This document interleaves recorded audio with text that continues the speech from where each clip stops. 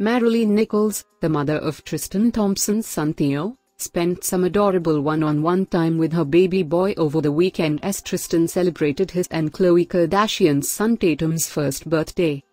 Maralee, 33, took to her Instagram stories on Saturday, July 29, to share a sweet photo of herself snuggling with Theo, 19 months.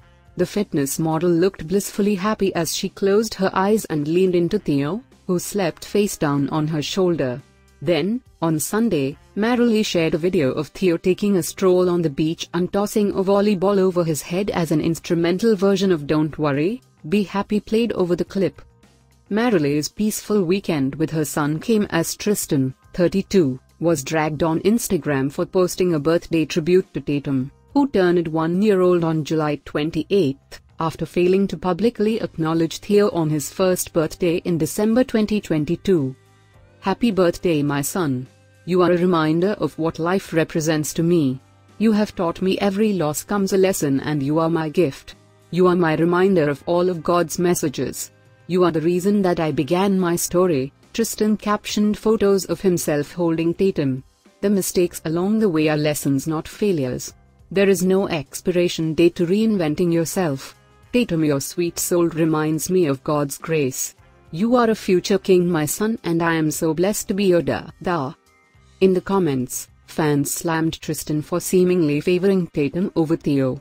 How about your other future king? Didn't make the cut? One fan wrote.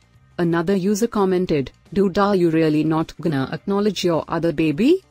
Maralee filed a paternity lawsuit against Tristan in June 2021, revealing that she and the NBA player had conceived a child in March while Tristan was still in a relationship with Khloe, 39. The influencer then gave birth to Theo in December of that year, and Tristan broke his silence on the scandal one month later.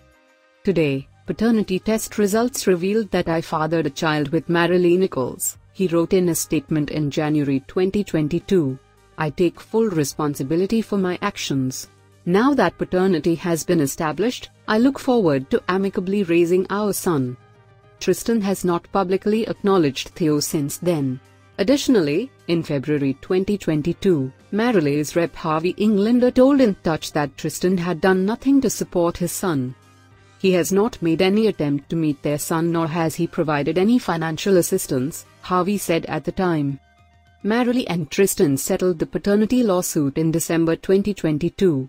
Maralee continued to have sole custody of Theo, with Tristan reportedly paying $9,500 per month in child support. While Maralee has not directly said much about Tristan since the cheating and paternity scandal, she has seemingly thrown shade at both Tristan and Khloe. Back in April, Fans believed Maralee gave an indirect response to the lavish fifth birthday party Khloe threw for her and Tristan's daughter True, which Tristan attended. After Khloe shared several snaps of the event's giant balloons, dessert stations, and personalized goodies for the guests, Maralee took to Instagram with photos and videos of a beach day with Theo. Happiness, she captioned the carousel. It's the simple things in life that are the most extraordinary.